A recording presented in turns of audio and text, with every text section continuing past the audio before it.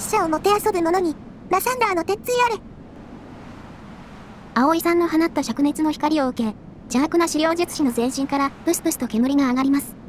しかし、ぐ、ぐぐ。ダメ、倒しきれてない。葵さんに HP を削り切った手応えは確かにありました。計算外のものがあったとすれば、それは外的要因に他なりません。ネクロマンサーの持つ闇のクリスタルが暗い輝きを放っています。あのクリスタル、アーティファクトの効果ですか？魔法学に通じるゆかりさんには、この現象がそのアーティファクトの特性の一つによるものと分かったでしょう。それは HP が0になり、かつ即死しなかった場合、一度だけ HP が1の状態で生き残るというものでした。なんてこと？そんなん聞いてへんで。ど、どないしよう。皆さんの動揺の隙をついて、一つの呪文が発動されます。え、何？何をしたの？これは、中距離転移呪文。逃げられてしまいます。崩壊を。に、逃がすか、この。うぬ、お姉ちゃん。あれも、このようなところで終わるの。何度も支配、何度も屈辱。お前らさ、お前たち。マジックみたいです。伝説的なアクションにより、ネクロマンサーは転移呪文を使用。ゆかりさんの追撃も叶わず、かの者は次元の扉に消えました。ディメンションノアは最大150メートル。まだ近くにいるはずです。が、ゆかりん青以外、みんなボロボロや。うちらの実力で、あんなん撃退できただけでも大金星やろ。そうだよ。ゆかりんが死ななくて、本当によかった。信徒の義務を完遂できなかったのは残念だけど。うん。私たちももっと強くならなきゃダメ。そうですね。みんなが生き残れたことを喜びましょうか。皆さんがお互いの無事を確かめ合っていると、急速に死の気配が薄れていきました。戦闘終了。皆さんの勝利です。シナリオの都合上、敵の逃亡という形にさせてもらいましたが、間違いなく最大級の戦果ですよ。それはええねんけど。ひとまずは小休憩やな。正直何するんも億劫や。お姉ちゃんが一番重症なんだよ。手当てするからこっち来て。そうだね。あ、見て。逃げていた動物たちが戻ってきましたか？ちょうどいい、緑の騎士へ伝言をお願いしましょう。スピークイズアニマルズ。いいな私も動物さんと話してみたいな。その望みはすぐに叶えられる。え？うーん。マキさん、どないしたん？あ、お姉ちゃん、邪魔しちゃダメだよ。おおそうだ。私もともと、祠に誓いを立てに来たんだった。えー、っと、お祈りして、誓いってどう立てればいいんだろう。何時？また聞こえた。女神様なの？古き者の力をその身に宿すパラディン4つの誓いを生涯守るべし光を灯せ慈悲と親切許しの実践をもって世界に希望の光を灯し絶望を打ち払え光を灯す。光を守れ。世界の善と美と愛と笑みのあるところ。これを飲み込まんとする邪悪に立ち向かえ。命栄えるところ。これをからさんとする力に立ち向かえ。光を守る。内なる光を保て。歌と笑い。美と芸術を楽しむべし。自らの内にある光を消してしまったならば世界に光を保つことはかなわぬ。内なる光を保つ。光となれ。絶望の中に生きる全ての人々をあまねく照らす。輝かしき光となれ。汝の喜びと勇気の光が汝の全ての行いを通して輝き出るように。光となる。この誓いを破り顧みることがなくなった時汝は堕落し我が加護を失うそれって。マキさん。あゆかりんこの誓いってさ。なんていうか。すごく普通なことなんじゃ。普通ですか？そう。マキさんにとってその誓いの内容はごく当たり前のことでした。音楽飛びによって人を楽しませ、その明るさと優しさ、そして強さは、人の絶望を払い、希望をもたらしていました。誰に言われるでもなく、マキさんは幼い頃よりずっと、自然に実践してきたのです。うん。パラディンの誓いってなんか、ものすごく壮大で厳格なものだって覚悟してたんだけど。ふーむ、そうですか。私には神の声は聞こえませんでしたが。誓いを自然に思えるなら、まさしくマキさんにはパラディンの適性があったのでしょう。そうなのかなでも、なんで、森の女神様が？汝古き者の誓いを立てしパラディンとなるかあ続きが来てた。うん、そうだね。ゆかりんがそう言ってくれるなら。なるよ。私は、古き者の誓いを立てし、パラディンになる。あ、できればその、草まみれの姿じゃない方法で、はい。制約はなった若木のパラディンに幸あらんことをその言葉を最後に神聖な気配が遠ざかっていきます。え、ちょっと、待って。いや、ほんと、お願いしますって。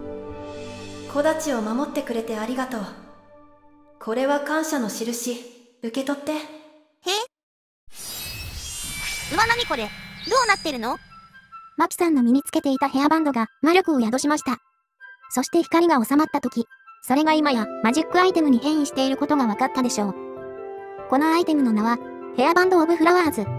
ワンアクションで衣服や鎧に好きな花を咲かせることができますよ。花を？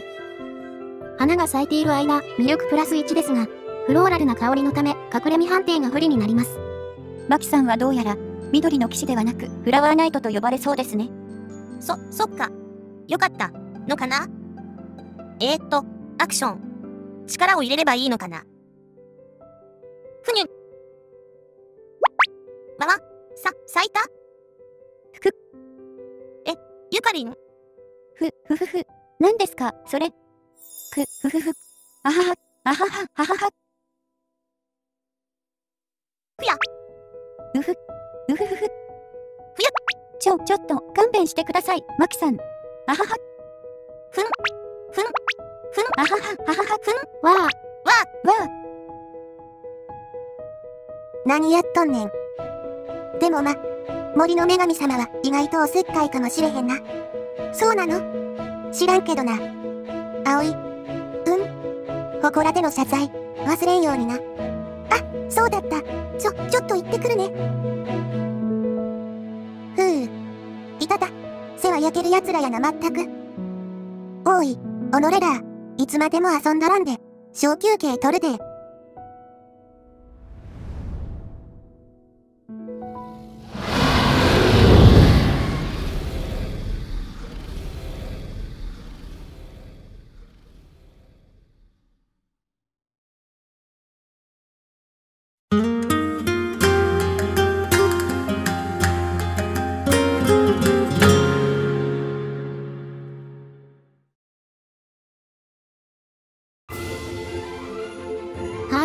それではリザルトといきましょう。イエイ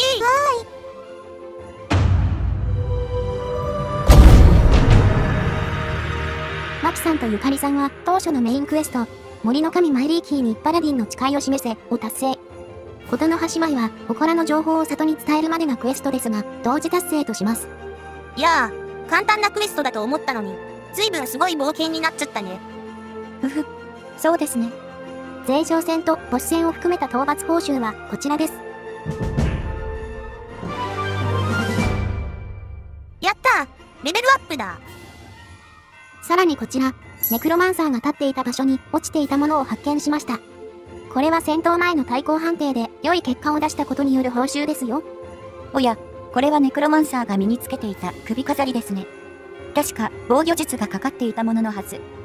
はい、小休憩の間に詳細が分かったことでしょう。こちらになります。なるほど。ネクロマンサーの精神集中セーブが高かったのはこれのせいでしたか。HP も24点ほど強化されていましたよ。元ネタのアミュレット・オブ・ヘルスは耐久力19になるレアアイテムですが、これはその低品質版ですね。ほう、ええやん。誰が使うん？修正値を考えると、効果があるのは私かマキさんですね。ここは前衛のマキさんに。ゆかりん、これは絶対ゆかりんのだよ。でも私はもうマジックアイテム受け取ってますが、あの時すっごく怖かったんだから、ゆかりんが持たなきゃやだよ。一番効果あるんは間違いなくゆかりさんやな。うん、いいと思うよ。わかりました。では私が、うんうん。それでは、ゆかりさんの耐久力ボーナスがプラス1からプラス3に強化。HP 最大値も6点分加算されました。これで少しは安心できるかな。もう、過保護ですね。そんなことないよ。当たり前だよ。追加で、広場の脇にネクロマンサーのものと思わしきバッグが置き去りにされていました。中身はこちらです。正当な報酬や、いただいとこう。何やら怪しげなものもありますね。この斧は、私たちには大きすぎるかな。あはは、モテるにはモテるけど、使えないね。リザルトは以上となります。マキさんは晴れてレベル3、古き物の誓いを立てたパラディンとなりましたね。せっかくなので、一足先に強化内容を教えちゃいましょう。わあ、また色々増えたね。ん？スピークウィズアニマルズ？私も動物と話せるようになるの？古き物の誓いの呪文ですね。もう一つのエンスネアリングストライクも有用な呪文ですよ。神聖なる一撃とどちらに呪文スロットを使うか、マキさんには悩ましいでしょうね。すごい。まるで魔法みたい。空魔法や。私たちのレベルアップ内容も確認しておかなきゃだね。ふふ。次はどの呪文を取るべきか。また悩ましいところです。はい、これにてこのシナリオはコンプリートとなります。皆さんはこの後、衛兵さんたちを救助し、彼らから多大な賞賛と感謝を受けることでしょう。困難に立ち向かい、心を守り抜いたこと、若きパラディンが神の祝福を授かったことは、近隣の者たちの知るところとなります。さあ、次なる冒険の舞台はどこにしましょうか？ブライトたちを生み出す魔の樹木は、まだ見つかっていません。逃亡したネクロマンサーは、新たな作望を巡らせていることでしょう。災害の復旧は目処が立たず、エルフと森人たちは助けを必要としています。葵さんと共に洪水から逃れ、難民となった民は村を再建したがっています。森を出て南の町、セコンダーは冒険の種に満ち溢れ、冬季バルダーズゲートでは、茜さんたちの両親の仇が未だ幅を利かせています。広大で危険に満ちた保護トンネルに、皆さんの旅は始まったばかりです。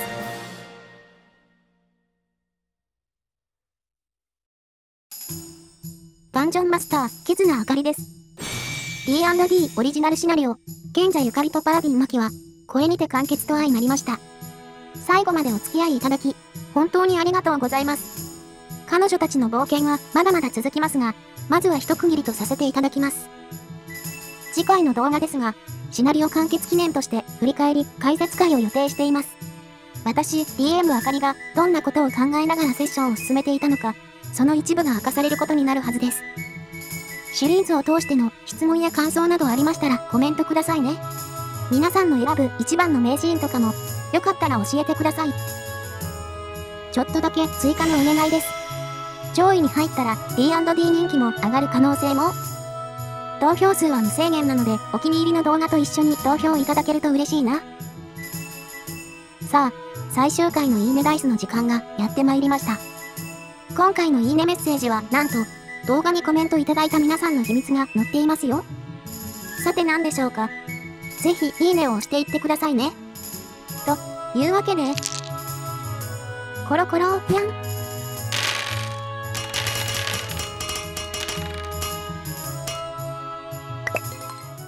また見てね。